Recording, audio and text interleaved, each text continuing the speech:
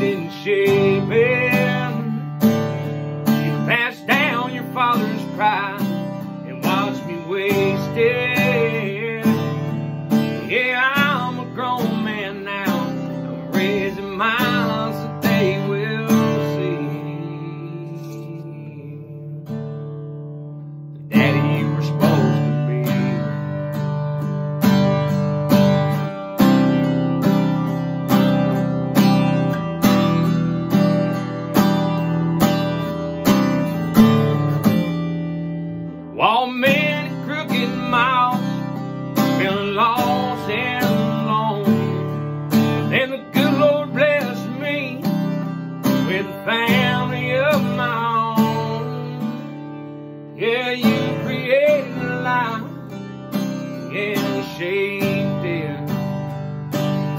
You gave me more than I deserve and helped me face it. And I'm thankful every day that He was shaping me into the day I was born.